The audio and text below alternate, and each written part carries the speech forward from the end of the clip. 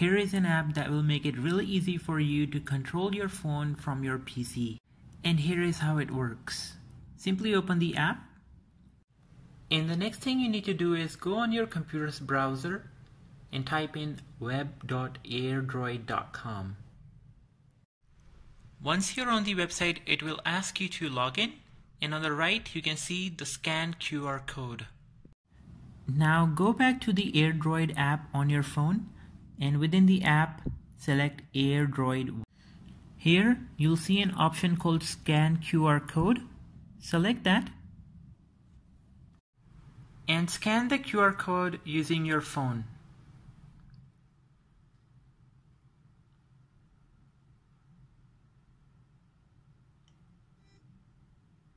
Once you do that, you will be able to confirm login to AirDroid Web. And now you have access to your phone from your PC. On the right, I can see a summary. So this is my device name and how much space I have on my phone right now. I also have the ability to make phone calls and I can even send text messages. On the left, I see option to see photos, so let's select that and here's a quick preview. And I can upload files, I can upload folders of images, and if I want, I can download files as well.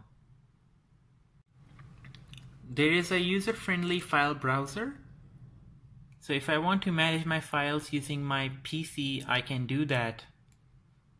I can upload files again, upload folders, and if I want, I can download files as well. You can use the phone's camera as well now. So if I select camera, and here's hi, and it's working fine. Um, and there are some really interesting options. If you want to rotate, you can do that. You can even have one-way audio and you can turn on the flashlight of your phone using the app as well. I can also mirror my phone screen. So here's a preview. And before I can actually mirror my phone screen, I need to give permissions on my phone.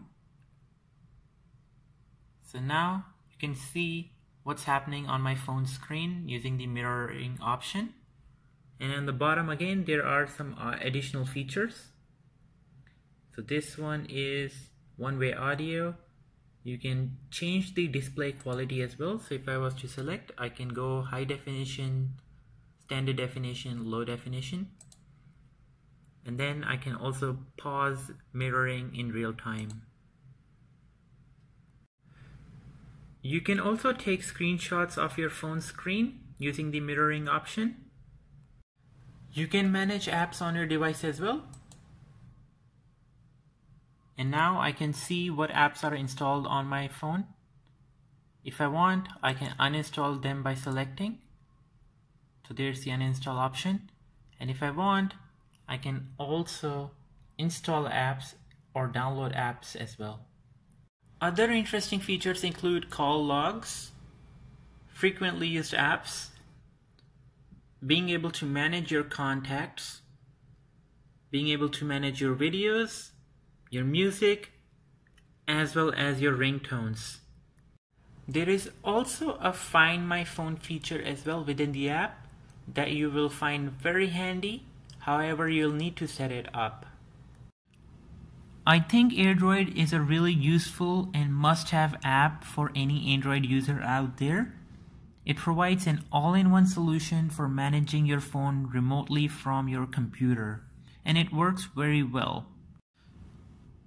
Do let me know through comments of what you think of AirDroid, um, if you're having any issues with the app, or if you know of any other alternative solution that works better than AirDroid. I hope you find this video very useful. Thank you for watching. Goodbye.